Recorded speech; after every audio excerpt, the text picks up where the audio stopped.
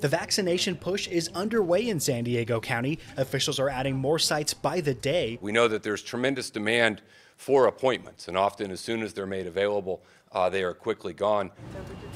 Just a week ago, county officials were not ready to start offering vaccinations for seniors due to lack of supply, but now that's changed. Just in the last 48 hours, 170,000 doses were allocated here, but We don't know uh, what tomorrow or next week or the week after will bring. Uh, we certainly are very aggressive in requesting vaccines, but we don't have a schedule.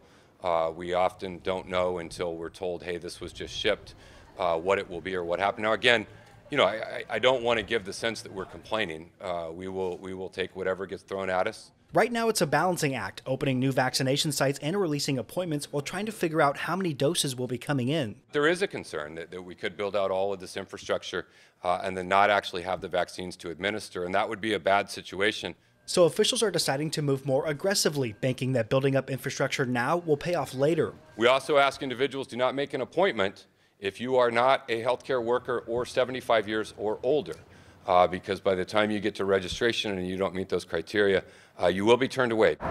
It's officially been a year since the first coronavirus case was confirmed in the United States. San Diego would soon start taking evacuees from Wuhan, China, with the first person from that group testing positive less than a month later. I feel very confident and uh, very proud of the response that we've provided uh, in um, responding to COVID 19. Public Health Officer Dr. Wilma Wooten says, reflecting back on a year, she just wishes that more people would have followed restrictions early on, pointing out spikes in cases from the summer. She does say that just over the last couple of days, the number of daily cases has been dropping, but We need a, a, a longer trend, so we will cautiously uh, watch those numbers and um, continue to vaccinate, vaccinate, vaccinate, vaccinate. A new dashboard on the county's website shows current vaccination progress. So far, just 1% of San Diegans have been confirmed to have gotten both doses.